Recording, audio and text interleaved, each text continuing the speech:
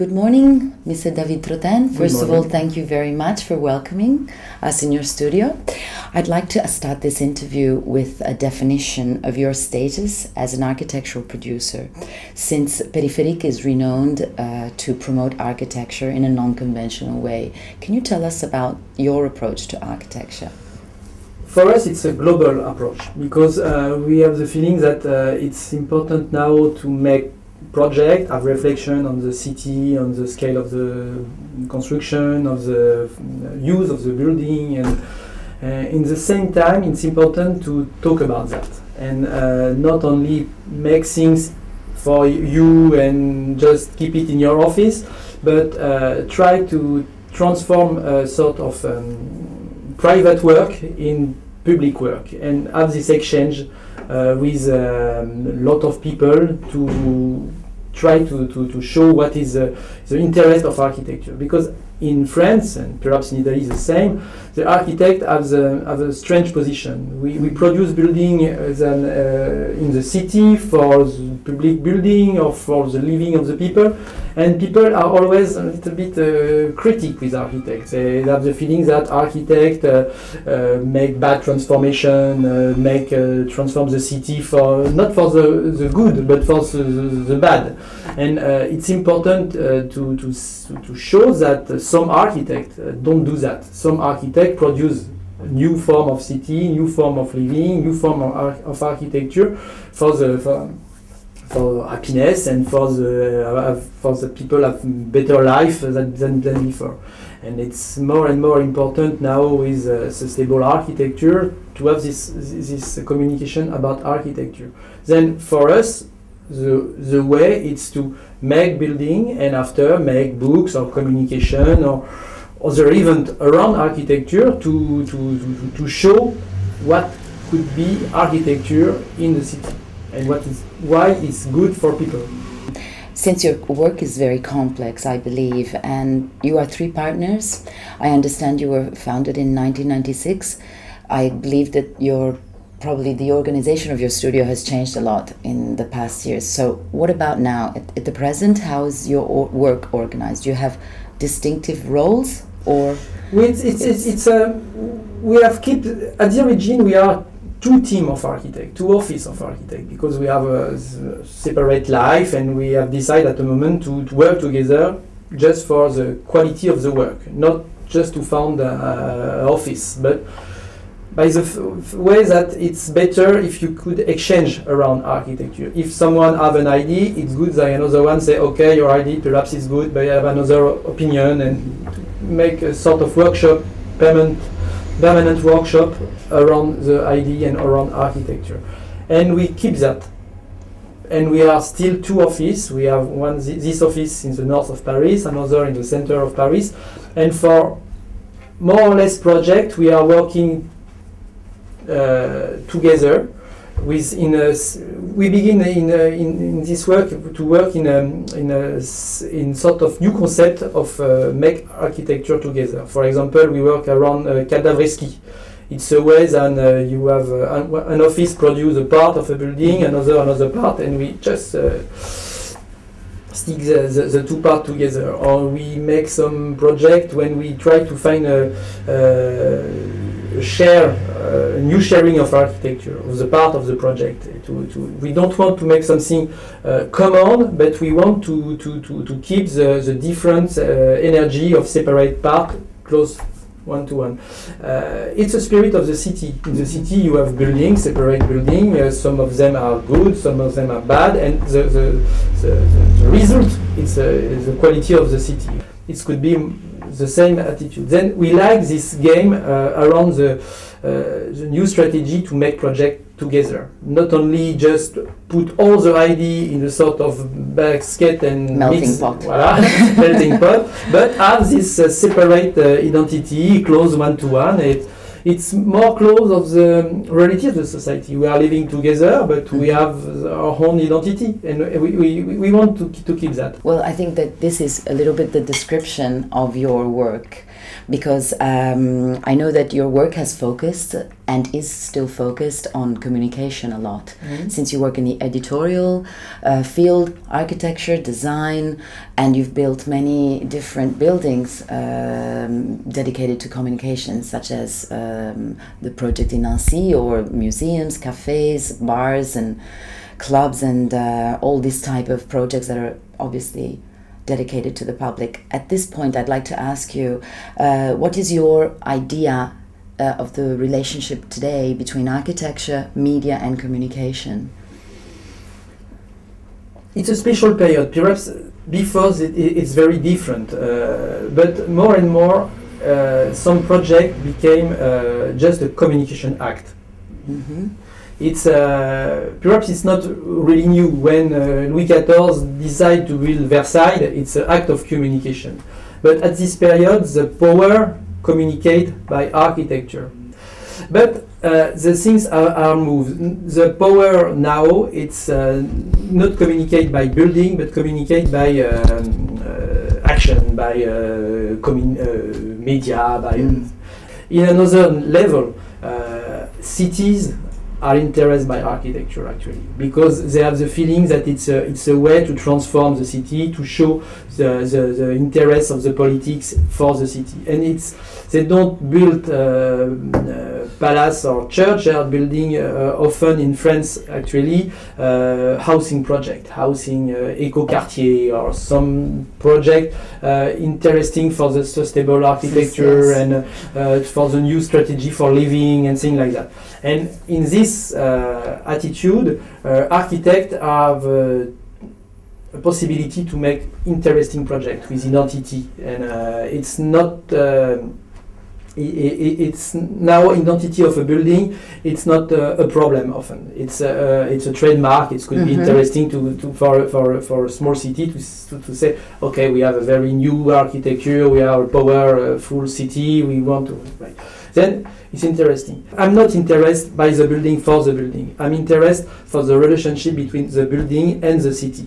Mhm. And um, if you just drop some interesting building, it's uh, in an interesting uh, city, it doesn't work. It's interesting to create link between architecture. Then for us, the, the, the work uh, of, uh, of the architect actually. It's to make special building with some case a very uh, interesting uh, experience of architecture but in the respect of the context of the city. And I think that in France we have this kind of attitude. Mhm. I, uh, perhaps I, I, I do a link with communication, and we, we, we create in, uh, in Paris a sort of uh, association of uh, 15 uh, office of architects Mhm. called French Touch. And uh, French Touch uh, decide to produce um, uh, a yearbook of architecture. We call it Optimistic Yearbook. Uh, and it's a, a presentation of what happened in France uh, during the last, uh, it's beginning in uh, two, two, uh, 07 and we, we prepare the, the, the, the, next issue for, for this year. Uh, it's how to work with uh, interesting architecture, new architecture, but in the respect and with a link with the context. And it's very French this attitude, because in French, in France, we have a lot of context. And if you if you look the architecture in uh, Switzerland, they don't have a lot of choice. It's always uh, uh, at the front of, uh, of the mountain, and uh, they, they don't have seas, they don't have uh, this kind of Different. different different different architecture. And the, the then this uh, specific uh, contextuality of architecture it's something very interesting to produce uh, ambitious architecture. And uh, then it's perhaps a link between uh, creation and after when you have the, all this creation it's important to communicate about to say it's not just like that. It's uh, a really, re- really a strategy, really uh, an interest that uh, French architects have of, of this relationship between uh, context and creation. Well, I think that this concept is very near your last, one of your most um, renowned projects. Uh, I'm talking about uh, Atrium, the university complex in Paris, Jussieu, and uh, obviously we have a very articulated project there.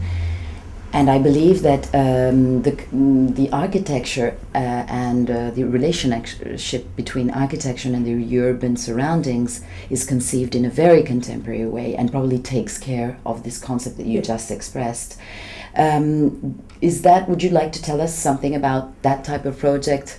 How you managed to work on the surroundings and the context and the city? Uh, in the case of Jussieu, the, um, it's very interesting to have this kind of, uh, of project to, to, to, to do because uh, you arrive in a, in a place uh, amazing, at, made at a time when architecture was very triumphant. You, you could build a sort of borough in one time, in perhaps five years, they built all the, the, the, the grille uh, of, of, of Jussieu it's a sort of uh, the architect who built that was a, a, a, guy fascinated by industrialization of architecture and at the same time of the Japanese Zen sort of mix.